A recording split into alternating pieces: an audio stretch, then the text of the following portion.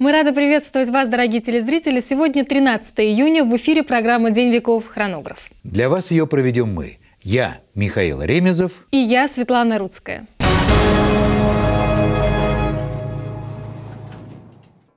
Программа «День веков. Хронограф» поздравляет с днем рождения всех телезрителей, которые родились в этот день. Желаем вам всего самого хорошего. 13 июня родились многие известные люди прошлого и настоящего, среди которых Дмитрий Голицын, русский князь, президент камер коллегии, член Тайного совета, и Томас Юнг, английский физик, создатель волновой физики. Измаил Срезневский, русский филолог, этнограф, составитель словаря древнерусского языка, и Джеймс Максвелл, английский физик, автор теории электромагнитного поля и Дмитрий Константинович Романов, русский великий князь, внук Николая I, генерал, глава государственного коннозаводства. Уильям Йитс, ирландский поэт, Нобелевский лауреат, написавший произведение «Ирландское возрождение», «Кельтские сумерки», «Ответственность» и Жюль Борде, бельгийский бактериолог и иммунолог, Нобелевский лауреат. Российский актер Михаил Пуговкин, известный по фильмам «Операция И» и другие приключения Шурика. Иван Васильевич меняет профессию. Российский актер Игорь Старыгин, снявшийся в картинах «Д'Артаньян и три мушкетера», адъютант его превосходительства «Государственная граница». Актер Сергей Маковецкий, снявшийся в фильмах «Наш американский Боря», «Троцкий», «Операция с Новым годом». Смотрите программу «День веков. Хронограф». В этот день в разные годы и века произошли следующие события. В 1381 восставшие английские крестьяне под руководством Уотта Тайлера вступили в Лондон. И в 1689 шотландские защитники Эдинбургской крепости сдались английским войскам. В 1841 в Кингстоне, провинции Онтарио, открылось первое заседание парламента Канады. В 1857 в Лондоне Герцен выпустил первый номер журнала «Колокол» первого русского оппозиционного издания. В 1858 на реке Миссисипи из-за взрыва парового котла затонул американский колесный пароход «Пенсильвания». Около 160 человек погибли. В 1911 в Париже состоялась премьера балета Игоря Стравинского «Петрушка». И в 1912 в Москве открыт музей изящных искусств имени Александра Третьего. В 1923 Франция ввела ограничения на торговые связи между оккупированным ею Рурским бассейном и остальной частью Германии. И в 1944 начался обстрел Лондона первыми немецкими ракетами Фау-1. В 1980-м Совет Безопасности ООН призвал власти ЮАР освободить Нельсона Манделу. И в 1988 году Верховный суд СССР реабилитировал Зиновьева, Каменева, Пятакова и Радыка. Наше путешествие мы начнем с событий истории, которые произошли в этот день в государстве российском. 13 июня 1698 года в Россию прибыла первая группа специалистов военно-морского дела, нанятых Петром I в Голландии. В Архангельске с четырех кораблей высадились 672 человека – морские сухопутные офицеры, кораблестроители. Хотя наемные специалисты прибыли из Голландии, собственно, голландцы преобладали только среди старших офицеров – 36 из 61. Среди матросов большую часть составляли шведы и датчане. Кроме моряков, было еще 100 рабочих человек из славян и греков. Из Архангельска они направились в старинный русский город Переславль-Залесский. Там, на Плещеевом озере, русские плотники и моряки во главе с самим царем учились строить корабли. Кстати, до сих пор в Переславле сохраняется ботик Петра I, дедушка русского флота. До работ на Плещеевом озере Петр сам в 1697-1698 годах изучал кораблестроение в Европе. Сначала он полгода работал плотником на верфях Амстердама. Петр прошел все степени морской нижней службы – Начиная с должности каютного хлопца, корабельные мастера звали его Питер Бас, Петр Мастер. Затем Петр Великий прошел теоретический курс кораблестроения в Англии.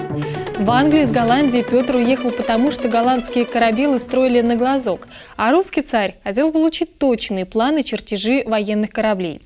В Англии он нашел то, что искал – точную науку, основанную на теоретических расчетах, основанную на чертежах. Эта поездка в Европу получила название «Великое посольство».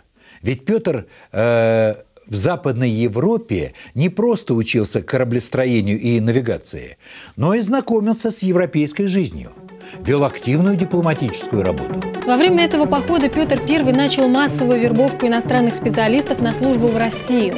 Иностранцы, купцы и ремесленники были в России издавна, но никогда их не было в таком количестве. Петр же положил начало массовому переселению иностранцев в Россию. И драться научимся, и работать научимся. Поймем голландцев, англичан, заводить у нас искусство и науки. Своих чертей заставлю ерша хвостом вперед хватать. Минхерц, русский человек, ему ведь только изловчиться. После Петра I многие новшества в России стали вводиться только потому, что они уже существовали на Западе. Так, например, когда в 1769 году Екатерина II издала манифест о введении в России ассигнации, она ссылалась на опыт европейских государств. Напомню, что ассигнациями тогда назывались бумажные деньги. Они заменяли привычное серебро и золото – до введения бумажных денег заменой серебра являлись медные деньги. Поэтому реформа Екатерины не была абсолютным новшеством для России. Также точно обесценивались медные деньги, стали обесцениваться и ассигнации. Однако на первых порах у населения бумажные деньги пользовались большой популярностью. По свидетельству современника, их принимали даже охотнее, чем серебро и медь.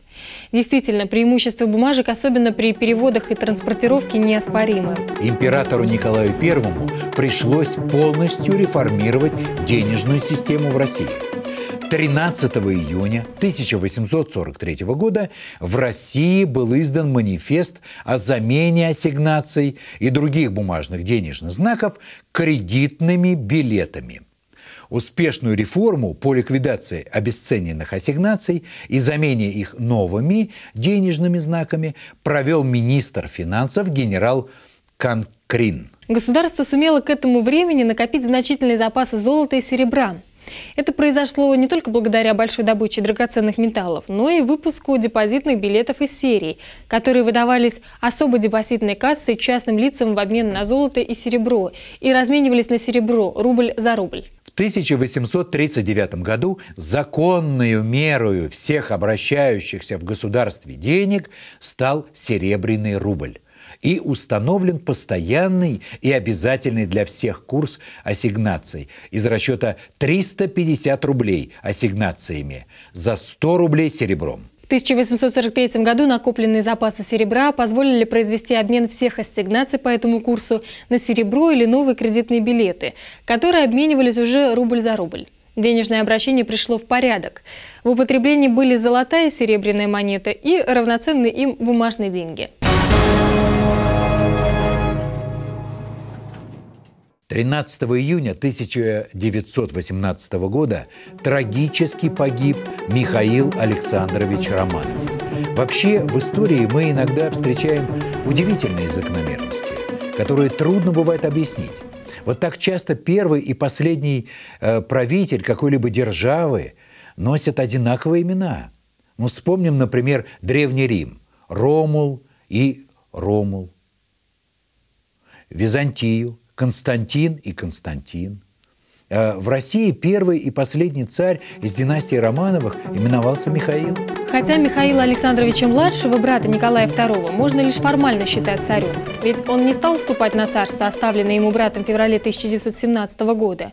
Он отказался от престола и передал вопрос о власти на усмотрение учредительного собрания. С юных лет князь Михаил Александрович служил в, в армии гвардейских и кавалерийских частях. Как храбрый офицер, он пользовался уважением в армии. До того, как родился царевич Алексей в 1904 году, он считался наследником российского престола. В 1912 году князь тайно без разрешения императора обвенчался с Натальей Сергеевной Вульферт, разведенной женой офицера кирасирского полка. Такой брак для великих князей считался незаконным. Он был уволен со службы, лишен прав престола наследия и въезда в Россию. Одновременно учреждалась опека над ним и его имуществом. Однако, когда началась Первая мировая война, князь вернулся на службу и был назначен командиром Кавказской туземной конной дивизии. Затем он был назначен генерал-инспектором кавалерии. Специальным указом опека над его личностью, имуществом и делами его прекращена, а его супруга получила титул графини Брасовой. После февральской революции в числе других членов императорской фамилии он был уволен от службы с мундиром и пенсией. После этого он жил в Гатчине. Однако после Октябрьской революции над всеми представителями рода Романовых нависла смертельная угроза. Великий князь был сослан в Пермь. Там он жил в гостинице вместе со своим секретарем, англичанином Николаем Николаевичем Джонсоном. Оба пользовались относительной свободой и могли принимать посетителей. В ночь на 13 июня 1918 года в номер, где жил Михаил Александрович, ворвалась группа вооруженных большевиков.